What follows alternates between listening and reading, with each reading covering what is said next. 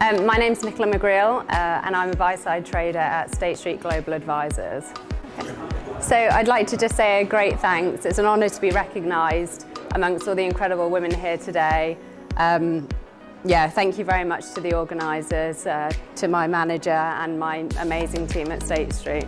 So I started my career on the sell side as an intern in trading and I moved to Hong Kong a couple of years later and started working at an equity EMS vendor.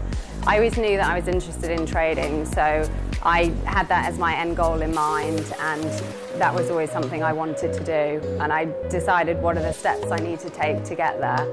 Um, and eventually I've ended up at State Street now doing exactly that as a buy-side trader. I think it's always important to have an end goal in mind um, to achieve what you want to achieve.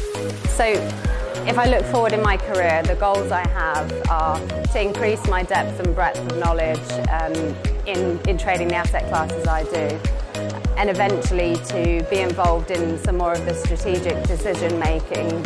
I've been lucky so far in my career that my managers have always been um, a mentor to me and they've always encouraged my progression in everything I do. Um, and that works internally at the firms I've worked at and also externally in being involved in industry events such as this. So I think my advice to other women considering a career in finance would be that finance is such a broad industry. There's so many skills that you ha can have from potentially other careers and industries that would be valuable in a, in a financial role. Developing technologies and ever-changing regulations mean that roles in finance are always changing and developing themselves. So if it's something you're interested in, I'd say go for it.